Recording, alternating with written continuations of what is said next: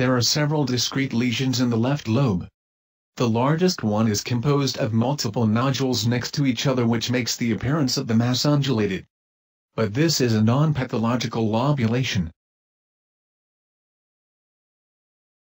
On the other hand, there are several suspicious protrusions on the margin, therefore the possibility of lobulated or spiculated margins should be considered.